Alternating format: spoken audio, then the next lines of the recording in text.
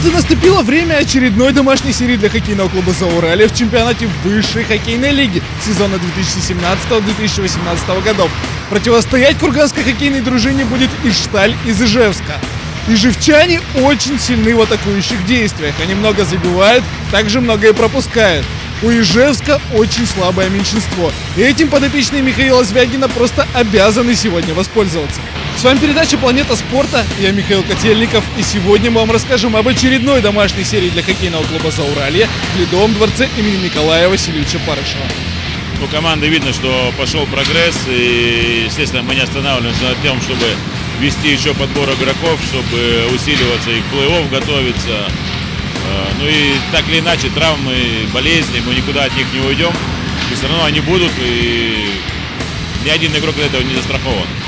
Стартовая 20-минутка стала настоящим кошмаром для курганской команды, несмотря на то, что по броскам у хозяев даже было небольшое преимущество. Уже в самом начале игры за Урали оказалось в меньшинстве, и столевары сходу реализовали лишнего. Денис Иванов оказался самым шустрым на пятаке, протолкнув снаряд в ближний угол. В середине периода Сергею Лапину и Ленару Мансурову по разу удалось огорчить команду Михаила Звягина, что повлекло за собой замену вратаря. Впервые в сезоне на пост номер один вступил Ильяс Гафиулин. Ненадолго курганцам удалось перехватить инициативу и отыграть одну шайбу в формате 5 на 4. Отличился Артем Железков, но воодушевление продлилось недолго. Алексей Баженов броском в падении восстановил разрыв в три гола. В следующем игровом отрезке на льду стали происходить не менее интересные вещи, которые ни к чему хорошему за Урале не привели. Хотя сначала все складывалось неплохо. Курганцы рванули вперед и заставили однажды ошибиться Столиваров, которые схлопотали удаление за нарушение численного состава. Игроки за Урале отличились во второй раз.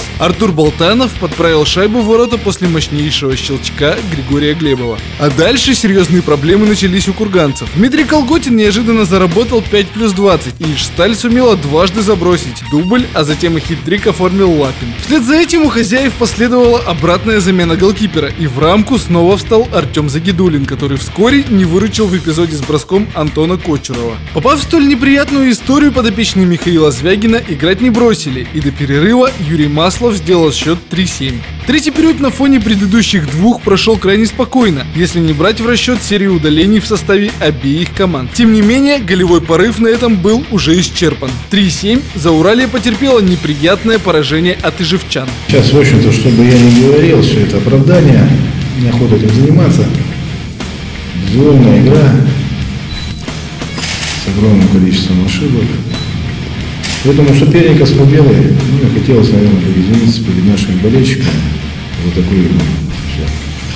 Но впереди еще целых три поединка. В этих матчах наши хоккеисты должны брать свои очки.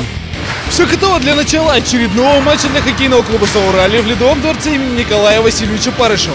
Противостоять подопечным Михаила Звягина будет Альметьевский нефтяник. Команда очень непростая. Если сравнивать сегодняшнего соперника с Ишталью, с которой мы играли двумя днями ранее и уступили со счетом 3-7, то команды примерно равны по классу. У нефтяника также сильно большинство и атакующие действия, но меньшинство – это слабая сторона Альметьевска.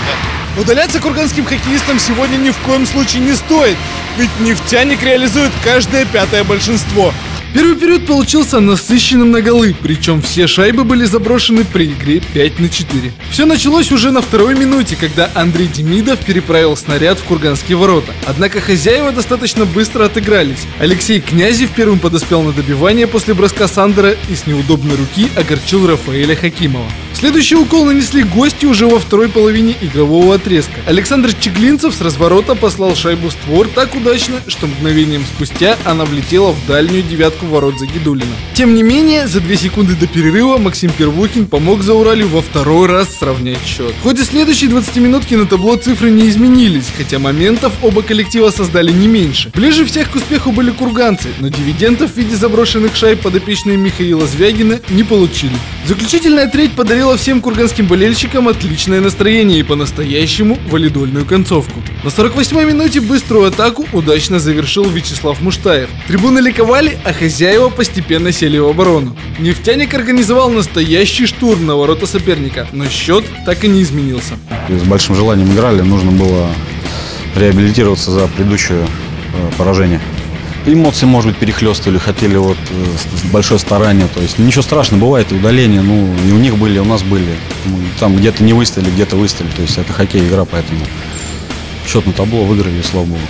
Итог победы Курганской хоккейной дружины со счетом 3-2. Нам сегодня противостояла очень такая мощная, обученная команда. Понятно, что в нашем сегодняшнем положении э, любое очко на вес золота, конечно, присутствует такая нервозность. В первом периоде вышли, много ошибались, очень много ошибались, не удалялись. Естественно, соперник имел преимущество. Хорошо, что все так 2-2 ушли. Во втором периоде тоже, наверное, за счет удаления мы где-то имели преимущество, но третий период, наверное, нам просто больше повезло. На очереди поединок с Таросом. Наверное, самый сложный из всех. Как всегда, когда слабый соперник, да, команда готовится к нему ну, с халатностью, да. Когда сильный соперник, команда готовится, выходит и выигрывает, доказывает, что она может обыграть любого соперника. И это здорово. Ну, я думаю, что вот эти домашние игры покажут, что все-таки коллектив есть, он сохранен, и каждый из игроков знает, что они могут поехать в Магнитку, играть за Магнитогорск, либо оттуда могут приехать играть здесь. Итак, матч под номером 3. Соперник очень грозный, Нефтекамский Тарос. К слову, Тарос трехкратный победитель высшей хоккейной лиги. Также у команды сильна реализация созданных моментов. Но эту команду сегодня можно и даже нужно обыгрывать. Начало встречи в актив могут смело занести себе хозяева, которые сразу принялись создавать опасные моменты у нефтекамских ворот. Вскоре Тарос остался в меньшинстве и затем не сумел совладать с Юрием Масловым, который точным щелчком от синей линии привел в восторг курганские трибуны. Первые минуты следующего игрового отрезка прошли с преимуществом нефтекамцев, и оно было таким огромным, что хозяева попросту не могли выбраться из зоны.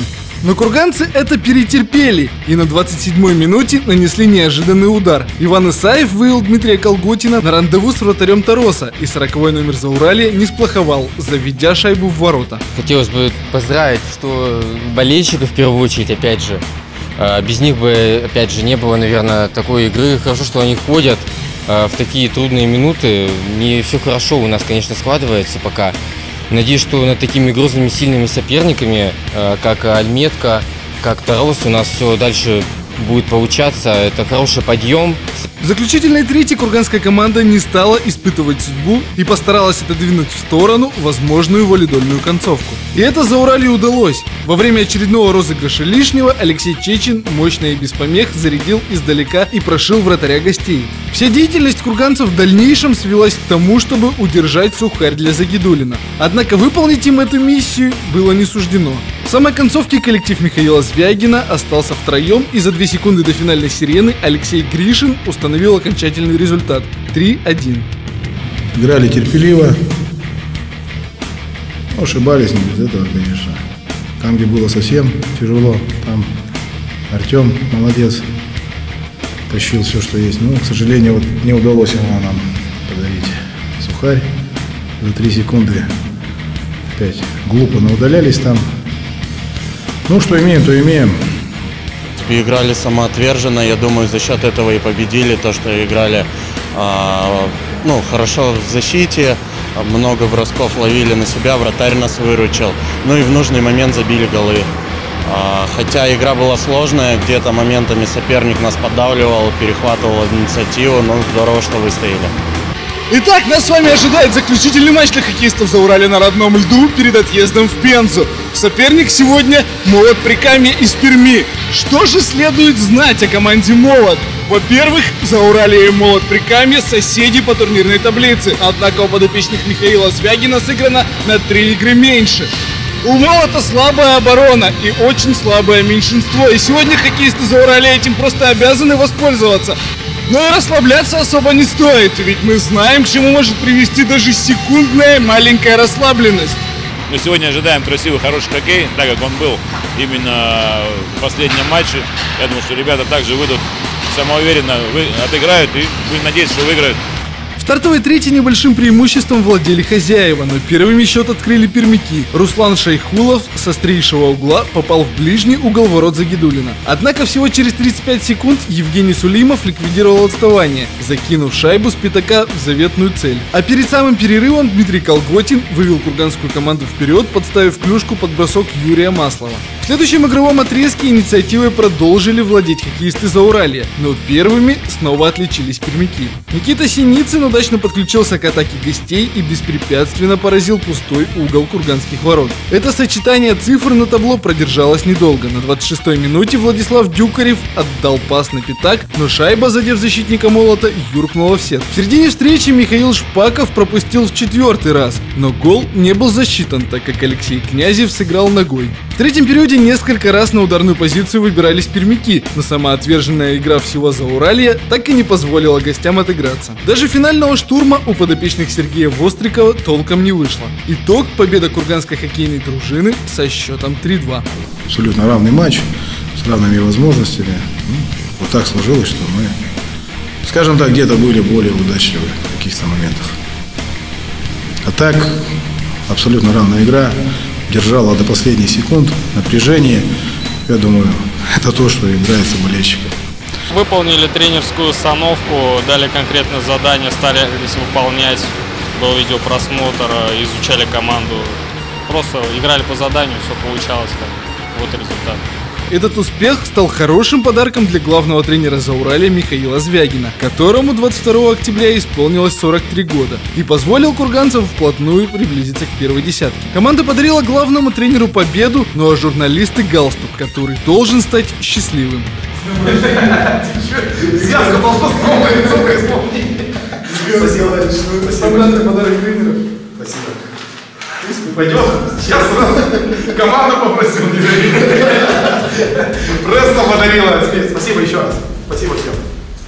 Михаилу пожелать надо только здоровья, терпения, выдержки, чтобы команда сегодня его порадовала, да, то есть э, и задача в этот день рождения, чтобы подтвердил свой чемпионский титул, вывел команду в плей-офф и занял как минимум второе-первое место.